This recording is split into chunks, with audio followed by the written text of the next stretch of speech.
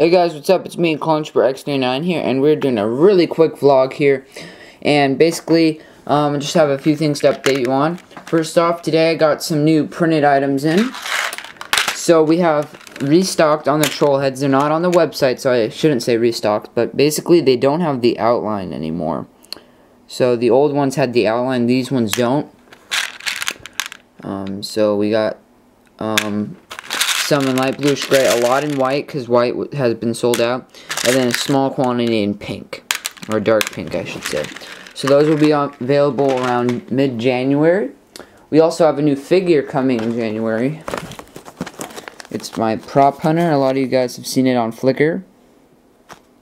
So that's him, pretty much completely printed on the side of the head as well. So that's really awesome. So I got 70, around 70 of those. And then these are for an upcoming figure. So we got some chrome figures. Um, so that's really pretty much it. I will be doing a good amount of videos coming up. I'm going to do an unboxing on that. Um, I actually have that pre-recorded. Um, so yeah, that's pretty much all I have to say for you now. Um, just check out the website. Um, certain things are going down in stock.